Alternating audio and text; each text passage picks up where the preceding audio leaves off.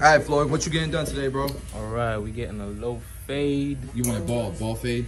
Yeah, we, Ball, ball low. fade. What are you doing on top? Are you doing anything on top? We keeping the top. Keeping the top keep so you just kind of kind of twist Yeah, it, just kind of twist it. something like that. Something like that. This is the after. I feel like the cut came out fire. We obviously styled it. We trimmed the top just a tad bit after it was styled. If you guys like the cut, please do let me know in the comments below.